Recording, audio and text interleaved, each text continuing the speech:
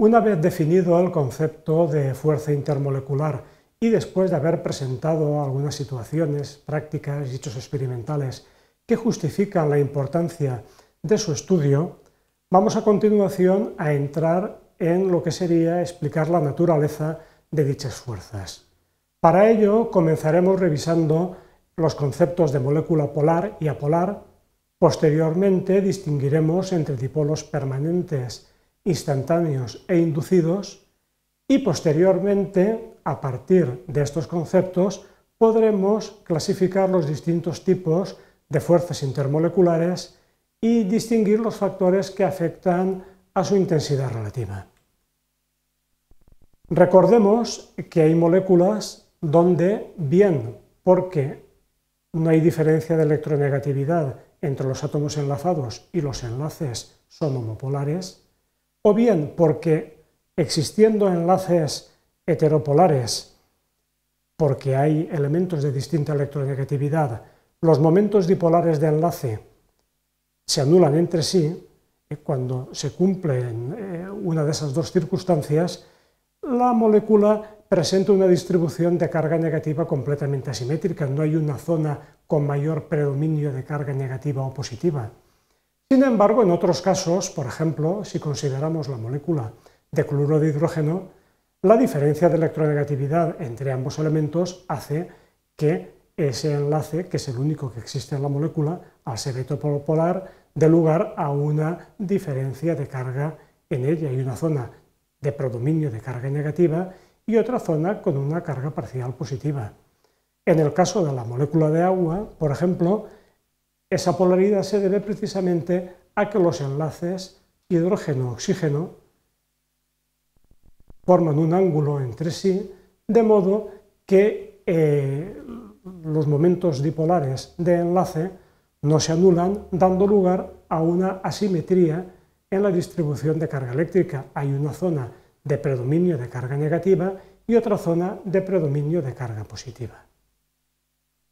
Bien, cuando una molécula es polar, eh, podemos decir que presenta un dipolo permanente, es decir, como comentaba anteriormente, existe una zona con carga parcial positiva y otra con carga parcial negativa.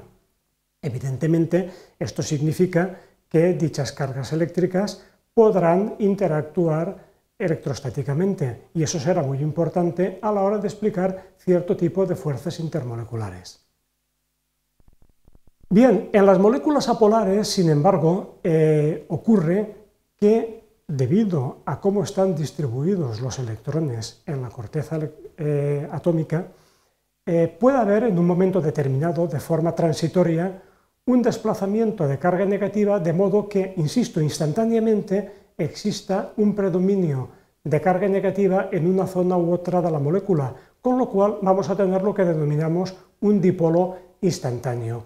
Estos dipolos instantáneos, aunque van a dar lugar a interacciones relativamente débiles, pueden llegar, como veremos posteriormente a través de algunos ejemplos, a interacciones muy fuertes, de modo que van a explicar, por ejemplo, por qué determinadas sustancias son sólidas cuando existen simplemente fuerzas eh, entre dipolos instantáneos, fuerzas denominadas de London. En este ejemplo podemos ver cómo esos dipolos que se generan instantáneamente pueden interactuar entre sí y dar lugar a esas pequeñas atracciones a las que me refería. También puede ocurrir que cuando una molécula polar interactúa con otra polar, sea capaz de inducir un dipolo en esta última.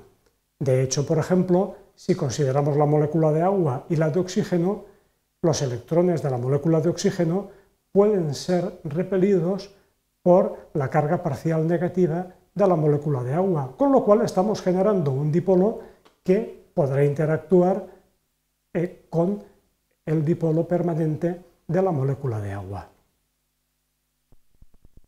Bien, de este modo podemos entonces clasificar eh, las fuerzas intermoleculares según el tipo de interacciones que las producen. Tendríamos en primer lugar las eh, interacciones entre dipolos instantáneos, van a dar lugar a las denominadas fuerzas eh, de dispersión de London y en principio eh, son las más débiles, aunque como veremos posteriormente, al depender del número de electrones de la molécula, pueden llegar a ser relativamente intensas. Posteriormente tendríamos interacciones entre dipolos inducidos, los que se generan precisamente cuando una molécula con dipolo permanente interactúa con una molécula apolar, y posteriormente tendríamos las interacciones entre dipolos permanentes, es decir, entre moléculas que son en sí mismas polares. Los puentes de hidrógeno son un tipo de fuerza intermolecular que podríamos considerar como un caso extremo de interacciones entre dipolos permanentes. De hecho, eh, si consideramos la intensidad relativa de las mismas, podemos ver que los puentes de hidrógeno son realmente más intensos, tanto eh, con respecto a las interacciones entre dipolos permanentes como a las interacciones entre dipolos inducidos y sobre todo con respecto a las fuerzas de London cuando se trata de moléculas pequeñas. En conjunto, todas estas interacciones ocasionadas por la existencia de dipolos se denominan genéricamente fuerzas de Van der Waals. Vamos a ver, por ejemplo, eh, comenzando de eh, menor a mayor intensidad, eh, cómo actúan dichas fuerzas intermoleculares. Comentaba que las fuerzas de London son muy débiles, pero cuando el número de electrones es muy elevado, pues pueden llegar a ser suficientemente intensas. Por ejemplo, en el propano, molécula polar, las fuerzas intermoleculares de London son relativamente pequeñas, son muy pequeñas y de hecho el propano en condiciones eh, normales está en estado gaseoso, necesitamos licuarlo para poderlo envasar. Sin embargo, en el gasoil, que sigue siendo un hidrocarburo pero con 12 carbonos, eh, tenemos una sustancia en estado líquido. E incluso cuando ya tenemos eh, una molécula más grande, de 20, 40 átomos de carbono, como por ejemplo las que constituyen la parafina, tenemos una sustancia típicamente sólida. Retomando mm, los problemas que habíamos suscitado en la presentación anterior, podemos ver ahora cómo se produce la interacción entre el oxígeno y el dióxido de carbono con el agua. La molécula de agua es un dipolo permanente e induce dipolos tanto en la molécula de oxígeno, que en principio es apolar, como en la molécula de CO2, que también es apolar, pero que pueden presentar en ambos casos dipolos inducidos. Si consideramos eh, moléculas en sí mismo polares, tendremos interacciones entre dipolos permanentes. Podemos, por ejemplo, comparar eh, la acetona eh, con el butano. El número de electrones en la molécula y la masa molecular pues, son muy similares. Sin embargo, la molécula de acetona es un dipolo permanente, interactúa entre sí por fuerzas electrostáticas, mientras que el butano, por ser una molécula polar, solamente puede interactuar mediante fuerzas de London. La acetona es un líquido, hierve a 55 grados a temperatura ambiente, es un disolvente muy conocido, mientras que el butano es un gas. Por último, dentro de la descripción de las distintas fuerzas intermoleculares, eh, vamos a estudiar los enlaces por puentes de hidrógeno. Tienen una importancia desde el punto de vista, sobre todo biológico, muy importante y son fuerzas intermoleculares que se establecen cuando el hidrógeno está enlazado con átomos muy electronegativos, como oxígeno, nitrógeno y flúor. Si comparamos las energías de enlace eh, entre los puentes de hidrógeno y los enlaces covalentes, podemos observar que, evidentemente, un enlace covalente es mucho más fuerte que un enlace por puentes de hidrógeno, Ahora bien, en moléculas sencillas, por ejemplo, las fuerzas de London estarían entre un 0,1 y un 0,001% de la energía correspondiente a los enlaces covalentes de esa molécula. Por tanto, nos podemos dar cuenta de este modo que aunque el enlace por puentes de hidrógeno es mucho menos intenso que un enlace covalente, lo es mucho más que las fuerzas de London cuando se trata de moléculas, insisto, sencillas. En este ejemplo podemos observar cómo se establecen, por ejemplo, también en el amoníaco, los enlaces por puentes de hidrógeno. el par electrónico no enlazado del nitrógeno puede interactuar con los átomos de hidrógeno de moléculas vecinas de amoníaco, estableciendo esos enlaces por puentes de hidrógeno que explican pues, cómo el amoníaco eh, realmente es un gas, pero fácilmente licuable, ¿eh? simplemente eh, por compresión. Bien, en resumen, hemos revisado los conceptos de molécula polar y apolar, hemos definido también lo que son dipolos permanentes, instantáneos e inducidos, y todo ello nos ha permitido clasificar las fuerzas intermoleculares.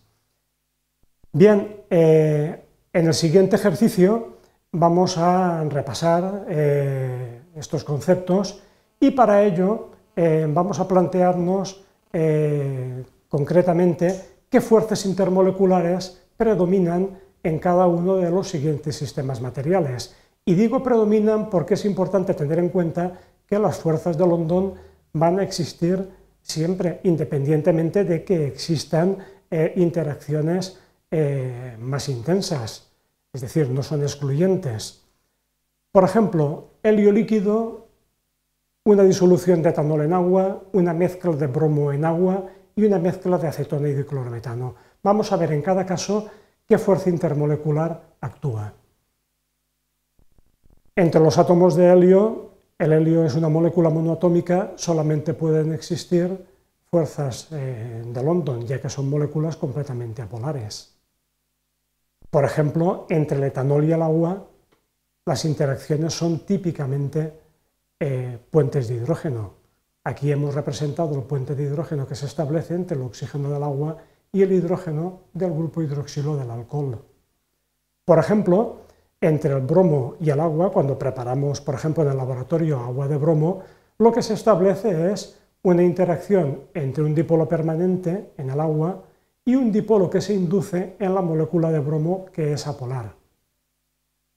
Por último, entre el diclorometano y la acetona, que son moléculas polares y por tanto dipolos permanentes, lo que existen son interacciones electrostáticas entre la parte eh, con carga parcial negativa y la parte con carga parcial positiva de las moléculas, de manera que eh, existe entre ellas una interacción pues, relativamente importante.